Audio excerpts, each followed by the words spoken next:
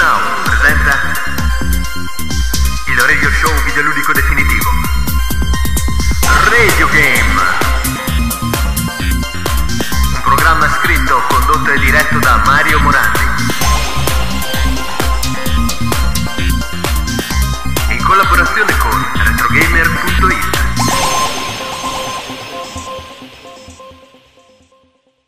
Ciao a tutti e benvenuti in questa nuova puntata di Radio Game, il radio show dedicato ai pezzi musicali più belli e significativi della storia del videogioco. Io sono Mario Morandi e questo è l'episodio 003. Ringrazio voi ascoltatori per il vostro appoggio per le mail che inviate all'indirizzo di posta elettronica radiogameshow.gmail.com Continuate così, faremo in modo di non deludere. Cominciamo la nostra scaletta con un pugno d'acciaio, per dire alla giapponese con Tekken, il cui secondo capitolo usciva in sala giochi nel 1995 per poi essere successivamente convertito su PlayStation. Quattro tasti corrispondenti ai quattro arti del corpo, una schiera di personaggi votati alle più disparate discipline marziali. Tekken 2 è un picchiaduro dalla giocabilità granitica e inossidabile, già allora vicina al perfetto equilibrio. Oggi la serie è un po' vittima di ridondanza e di autoreferenzialità, ma intrattiene sempre comunque anche nelle sue più recenti incarnazioni.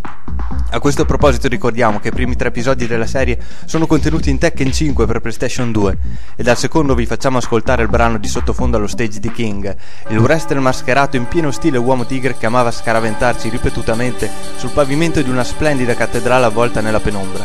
Questa è Beast Priest.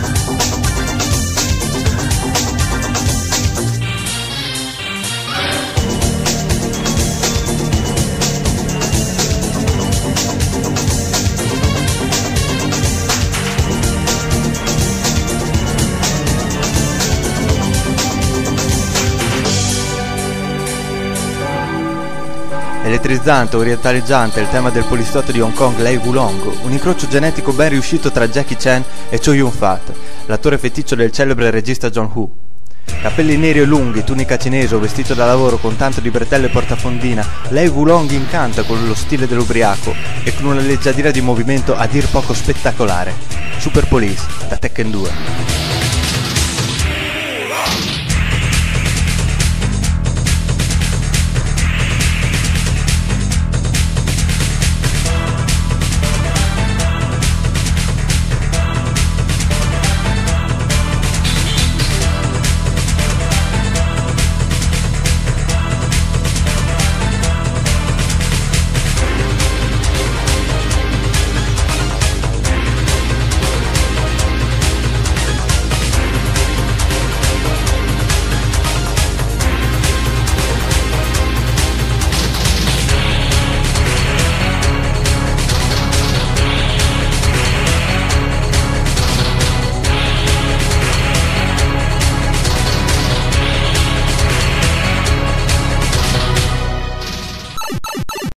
Villa fuori città, una notte troppo tranquilla, dei ragazzi in cerca di un'amica scomparsa all'interno della casa.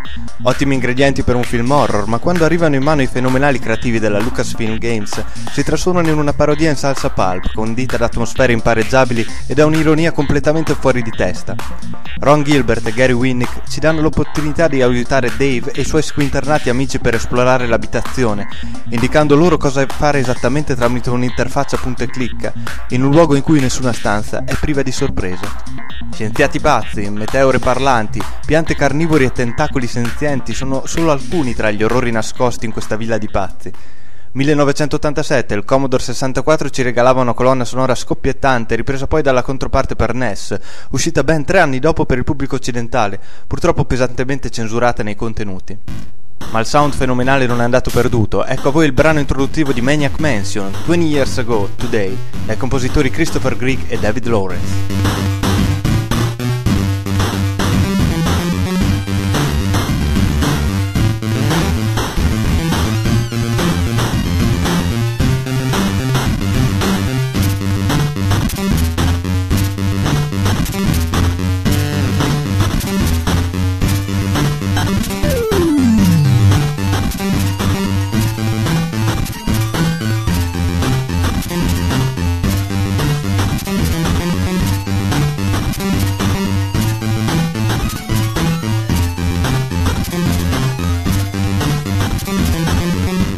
Dave, il personaggio principale, caratterizzato da questo brano spensierato e deciso al tempo stesso. La solo del lead ha qualcosa di stratosferico, il disco di Dave si intitola The Boys Are Still Back.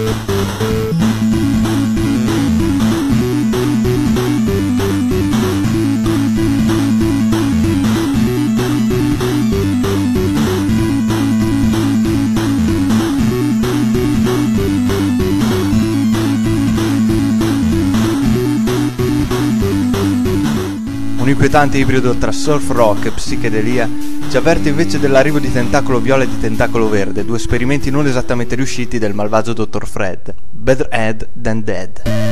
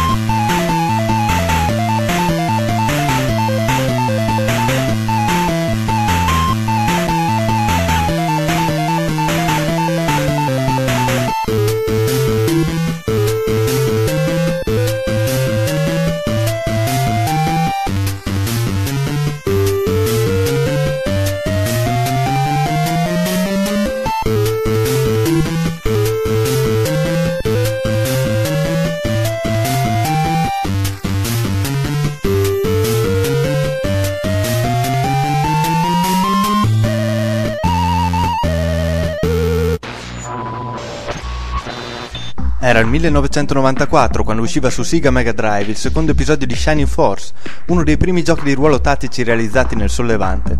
Sebbene il primo capitolo abbia un merito storico maggiore rispetto al sequel, in Shining Force 2 viene raggiunta l'alchimia perfetta di questa formula avvincente creata in precedenza e che sembra ribollire nel calderone della strega che all'inizio di ogni sessione ci invita con fare misterioso verso nuove battaglie.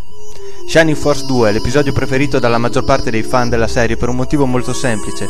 Ogni cosa funziona a meraviglia, dalla trama ricca di colpi di scena, alla strategia di gioco, ai personaggi accattivanti, per non parlare della meravigliosa colonna sonora composta dal malauguratamente sconosciuto Motoaki Takenuchi, autore poco prolifico ma di indiscusso talento.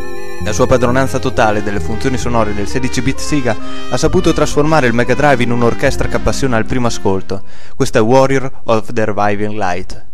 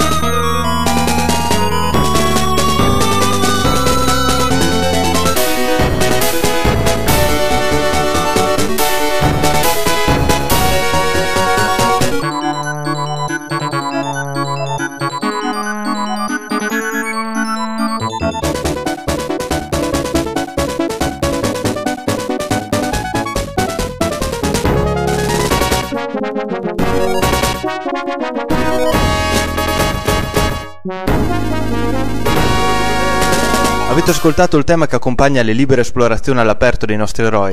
Di ben altro umore questo brano che fa sfondo all'interno dei dungeon.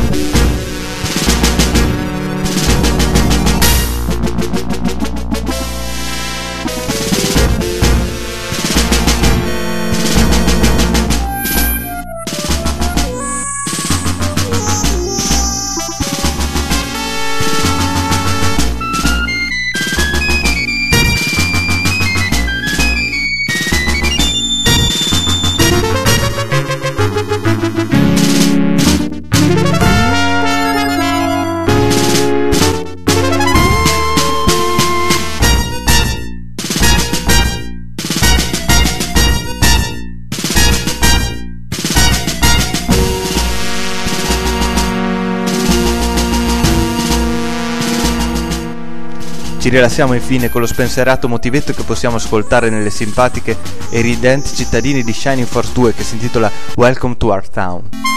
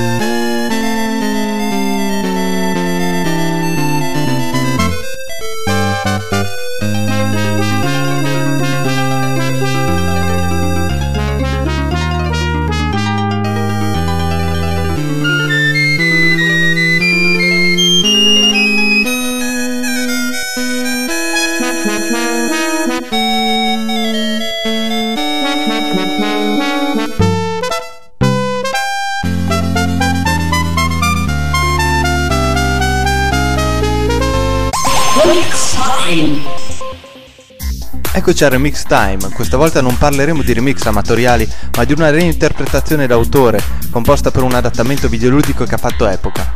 Stiamo parlando di Golden Axe, uno degli antichi cavalli di battaglia di Sega che nel 1989 rompeva definitivamente l'egemonia di Double Dragon per quanto riguarda il genere di picchiaduro a scorrimento, portando diverse innovazioni e proponendoci un'ambientazione da favola. Resta impresso nella memoria il brano del primo livello che si intitola The Wilderness.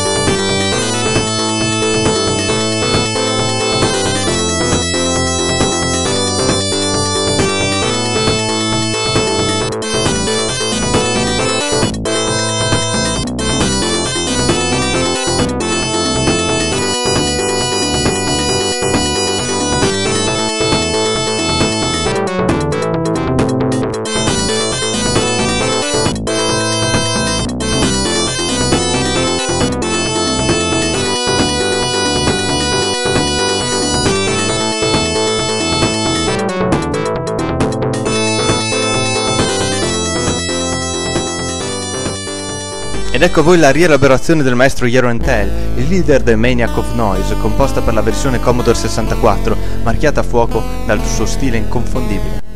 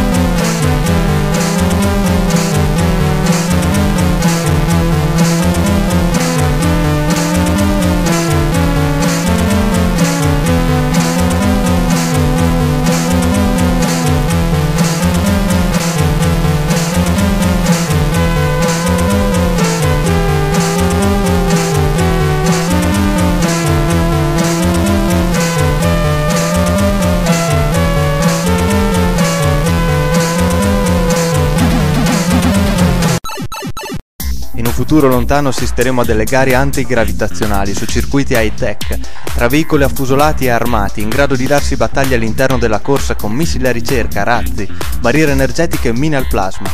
Questo è il mondo di Wipeout, videogioco corsistico e futuristico del 1995, uno dei primi titoli per PlayStation, rappresentato da un design visuale che ha fatto storia, unito a una colonna sonora techno trance che vantava ospiti d'eccezione, tra cui Chemical Brothers e Future Sound of London. Ma forse il livello qualitativo più alto viene raggiunto dal celeberrimo musicista videoludico Tim Wright, compositore Psygnosis che ormai conosciamo bene, che si occupa di creare la maggior parte dei brani della colonna sonora, e quindi vi facciamo ascoltare questo irresistibile brano intitolato Message.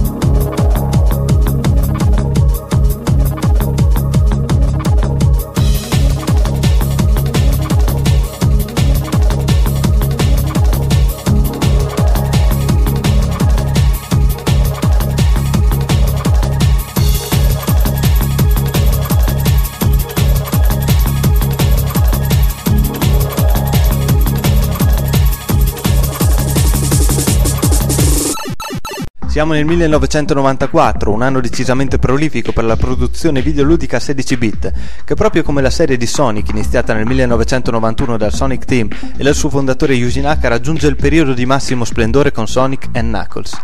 Un progetto videoludico sopra le righe che completa il lavoro lasciato un po' a metà dal Sonic Team, la cartuccia di Sonic Knuckles era infatti in grado di alloggiare quella di Sonic 3 e permettere così di affrontare una grandiosa avventura a piattaforme lungo 12 maestosi livelli esplosivi per grafica, velocità e naturalmente anche per la musica. Howard Rossin, fenomenale compositore di questo doppio capitolo della saga sonica, ci diletta con melodie che seppur brevissime riescono ad andare al di là del semplice motivetto, fornendoci tutta l'adrenalina necessaria per buttarci a capofitto tra folli giri della morte e diavolerie di ogni genere. Ogni zona era composta da due livelli, in cui venivano proposti due arrangiamenti differenti della musica di sottofondo. Una scelta di classe che iniziamo a gustare con le due versioni del tema di Hydro City Zone, la città sommersa presente in Sonic 3.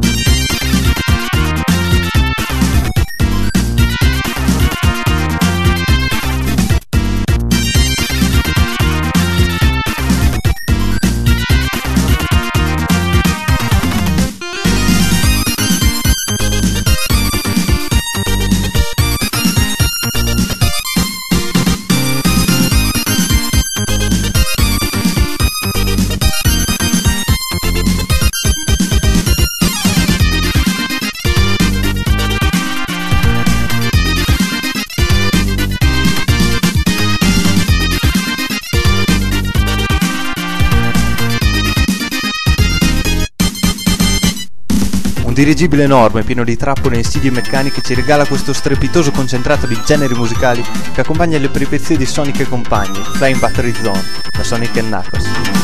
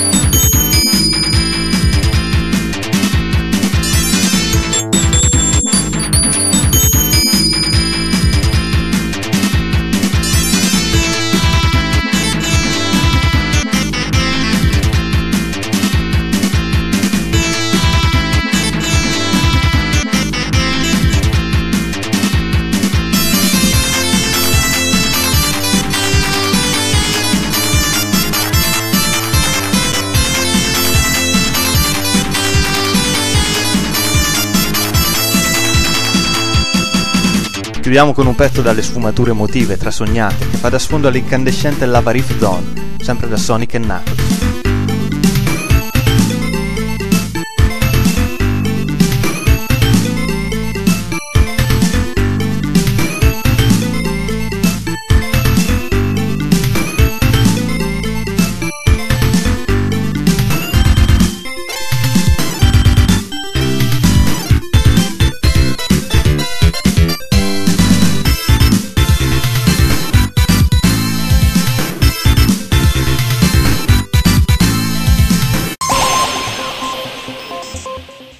1987, spazio profondo, Commodore 64. E restringiamo ancora il campo facendo il nome di Rob Hubbard, celebre autore di colonne sonore per l'8-bit a supporto magnetico come Monty on the Run, Sanction o International Karate, solo per citarne alcuni.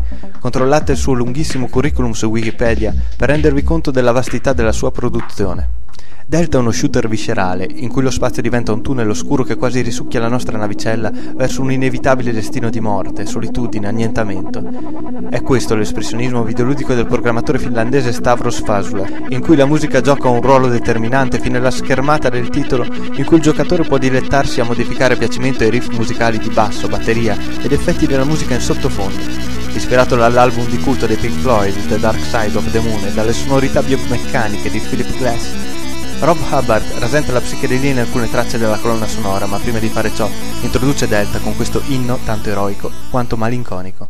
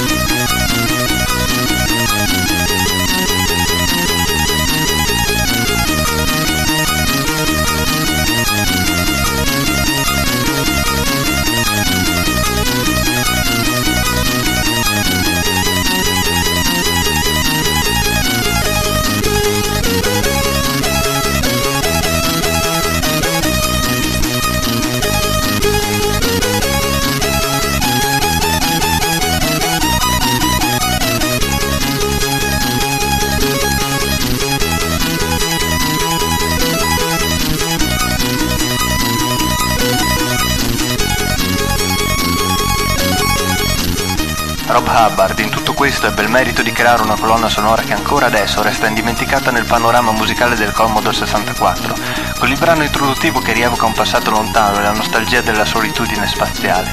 Un tema così evocativo, complesso, quasi commovente nella sua inesorabile malinconica ineluttabilità, lo avremo ricordato per sempre. Metropolis Street Racer, trinomio automobilistico che ha esordito su Dreamcast nel 2000 grazie a Bizarre Creations, prima incarnazione di una serie che ha fatto fortuna sotto il più famoso titolo di Project Gotham Racing. Metropolis Street Racer stupisce il giocatore con la sua fluidità, il suo spessore, la sua eleganza.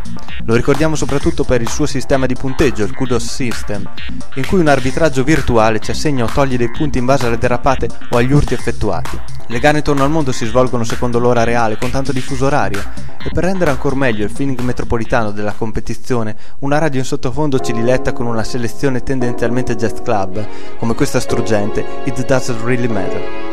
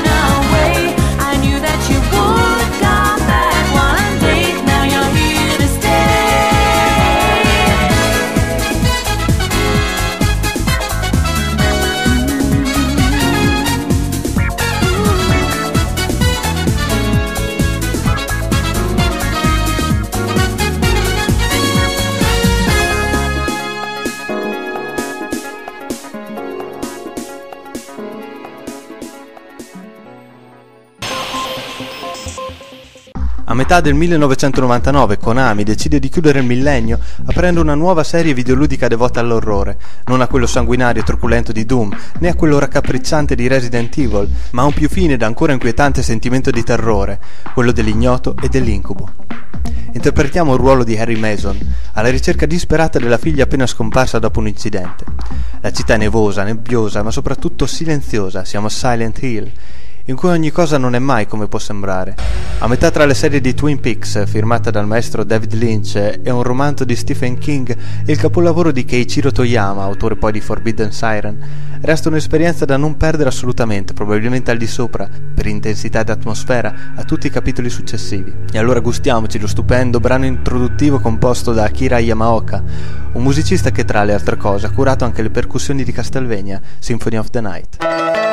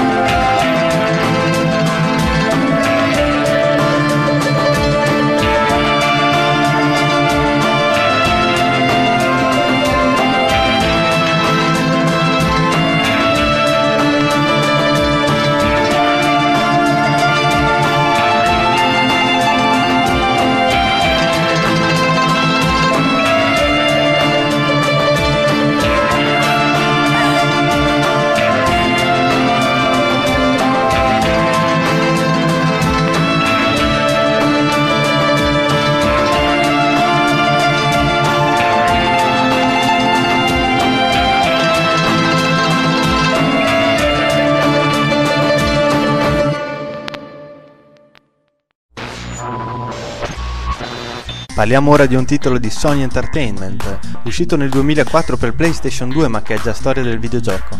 Ideato da Keita Takashi, Katamari Damacy è un videogioco onirico di grande intrattenimento ed in generale completamente fuori di testa.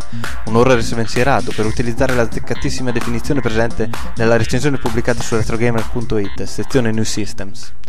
Ma vediamo di spiegare cos'è un Katamari, è sostanzialmente una palla che dovremmo far rotolare attraverso l'uso simultaneo del doppio stick analogico, spinta dal minuscolo principe del cosmo, che ha la facoltà di incollare su se stesso ogni oggetto di pari dimensioni che gli capita a tiro. A furia di raccogliere oggetti, il diametro del catamari diventerà sempre più grande sarà in grado di inglobare cose sempre più grosse. Si parte da penne biscotti e si prosegue con persone terrorizzate, animali, automobili, fino ad arrivare a case grattacieli, devastando letteralmente l'area di gioco. Ma come impedire il volere del re del cosmo? Nella sua immensa noia non spera altro di accontentare i desideri dei suoi sudditi con catamari sempre più enormi. Colonna sonora splendidamente originale, caratterizzata indubbiamente da picchi artistici, ma con un occhio di riguardo per la cultura pop giapponese non solo solo, come dimostra questo splendido brano di apertura dichiaratamente house del capitolo per PSP Me and My Katamari che si intitola Katamari on the Phone.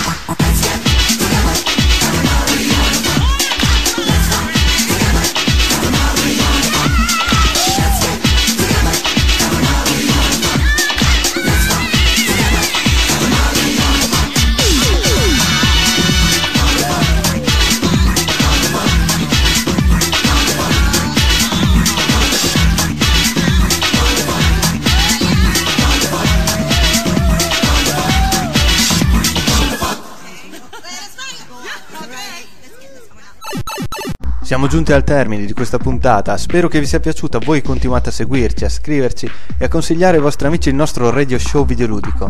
Io vi ringrazio e vi lascio con una appassionata canzone presente in We Love Katamari, cantata da Macchino Mia e composta da Hiroshi Kubo dal titolo Baby Universe. Ciao e arrivederci alla prossima.